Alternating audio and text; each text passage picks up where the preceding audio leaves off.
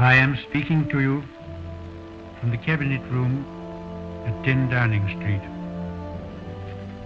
This morning, the British ambassador in Berlin handed the German government a final note stating that unless we heard from them by 11 o'clock,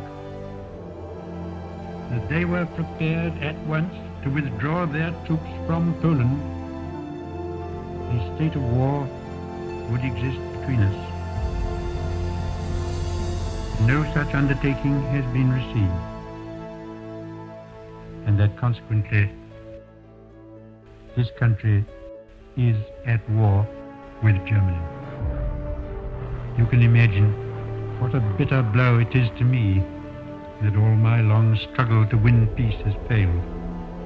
Yet I cannot believe that there is anything more or anything different that I could have done and that would have been more successful. Up to the very last, it would have been quite possible to have arranged a peaceful and honorable settlement. But Hitler would not have it. He had evidently made up his mind to attack Poland whatever happened. The proposals were never shown to the Poles, nor to us.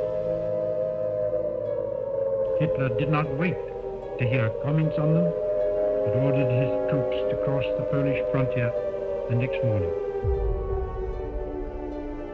And though they were announced in the German broadcast on Thursday night, his action shows convincingly that there is no chance of expecting that this man will ever give up his practice of using force to gain his will. He can only be stopped by force. And we and France are today, in fulfillment of our obligations, going to the aid of Poland, who is so bravely resisting this wicked and unprovoked attack upon her people. We have a clear conscience. We have done all that any country could do to establish peace. A situation in which no word given by Germany's ruler could be trusted, and no people or country could feel itself safe, has become intolerable. Now that we have resolved to finish it, I know that you will all play your part with calmness